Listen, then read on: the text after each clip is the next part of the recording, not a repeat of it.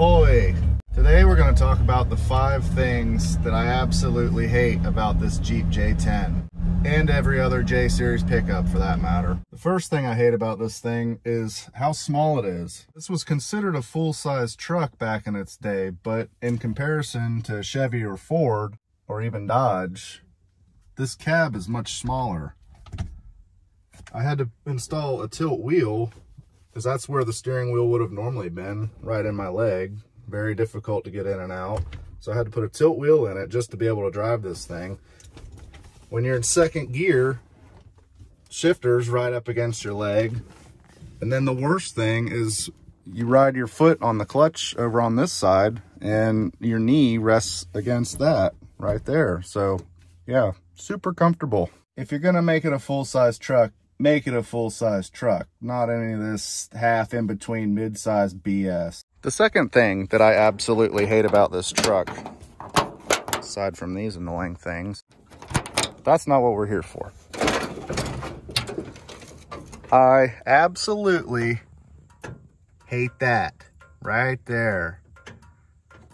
Carburetors are the absolute worst. I know it was just the technology of the time, but they're garbage. Every time you're going up a hill or anytime you start it, a cold start or even a hot start, there it just doesn't work well. Go up a hill, it stalls, doesn't start. Yeah, most of the reliability issues of this truck is all completely, yeah, it's that fault. My third biggest gripe with this truck would be that. Right there. All of that. And that and that, and that, and that, and all of that, and that. And I know you're not gonna be able to see it, but this whole tail piece of the frame from right there, which is like right in the middle of the truck, that all had to be replaced. It had to be cut off completely rebuilt from scratch and replaced because it was so rusty. I know what you're gonna say. Oh, it's an old truck, they rust. Mm -hmm. Look, I've had Chevys and I've had Fords and I've had all kind of old vehicles, even old Japanese vehicles. This thing by far is the rustiest of all of them. It's not just mine. They're notoriously rusty. Everybody who I ever talked to on forums and things, they all, same issues, same rust in the same areas. And it's not just J trucks, it's all AMCs basically from the time. All the CJs, all the J10s, all the J20s, the Commandos and everything. All the old Jeeps are like that. It was just, I don't know if they had bad metal or bad paint on them or what, but they that's just, they all do that. My fourth complaint with this truck would be that there's literally no aftermarket support for these other than like two, maybe three companies. You can't just go buy like a nice suspension lift for this thing. You gotta custom make it yourself or you gotta buy it for some other vehicle and modify it to fit on this vehicle. As far as finding like, I don't know, replacement body panels, you're stuck with one company that I know of, BJ's Off-Road, which they're way too proud of their stuff. It's way too expensive in my opinion. I understand it's rare, but I don't know. I I tend to just find stuff at the junkyard before I pay way too much for stuff. Literally everything for this truck pretty much has to be custom built or you're gonna pay somebody who is a custom builder for these trucks a boatload of money to build you something. For example, this front bumper, it's off of a Wrangler. It's been cut and modified and booger welded on there to fit on this truck, but it didn't come on this truck. They don't make a bumper like that for it. Same with the suspension lift. These springs are off of a 90s Dodge Dakota. They didn't, it's not for this truck. I had to custom modify them to fit.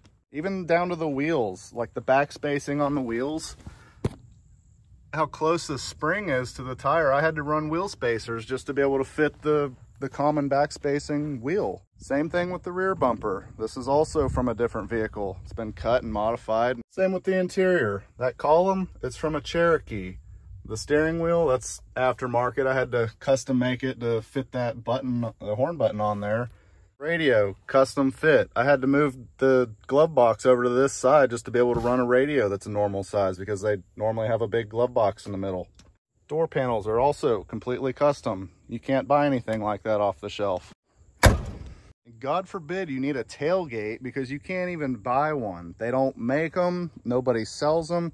You can get a reproduction, but it won't say, it won't have the Jeep stamped in it. So, I mean, if you're not going to have the Jeep stamped in it, why even have a tailgate? And don't get me started on this front axle. This axle only came in this truck specifically for only a couple years. So if you need replacement axle shafts, which I do, that one's broken you're stuck with like two companies as an option that make chromoly axle shafts for this thing because it's like a four or five year only axle that only came in this truck. Even though it's a Dana 44, which commonly came in everything of the time. Fifth biggest gripe with this truck, and this one's kind of petty, but it kind of annoys me. Nobody knows what it is. Everybody's like, oh, I didn't know Jeep made a truck. Is that a Comanche? No, brother, this is before the Comanche.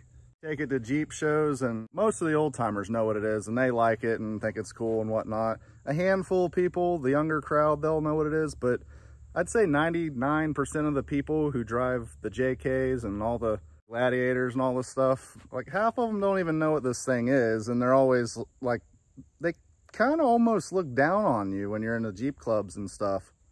And not a single one of them ever waves at me or gives me one of their stupid little dash ducks. And that's just unforgivable. Anyway, that's the five things that I really don't like about this truck. If you own one of these trucks and you think I missed something, let me know. If you think I'm just being petty and whiny, let me know that. If you enjoyed this rant, uh, I guess give it a like or a thumbs up or whatever. And if you really liked it, subscribe. But if not, then good day.